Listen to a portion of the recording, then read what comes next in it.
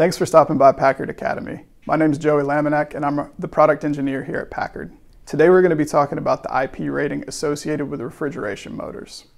IP stands for ingress protection. It's usually followed by two numbers. The first one indicates a product's resistance to solids, uh, dust, and the second one uh, indicates the product's resistance to water, uh, submersion, jets, uh, just exposure in general. Our ECMAX RM series is rated IP67. That means that it's completely sealed against dust and it is able to be submerged in water for up to 30 minutes at up to a meter of depth. Just a little demonstration. This ECRM is running.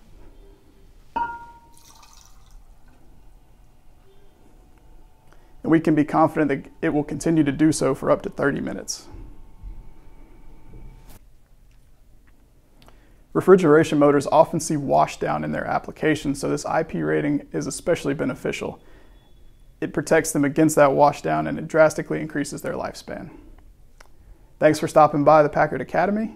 Uh, subscribe to see the rest of our videos and come back for more tech tips.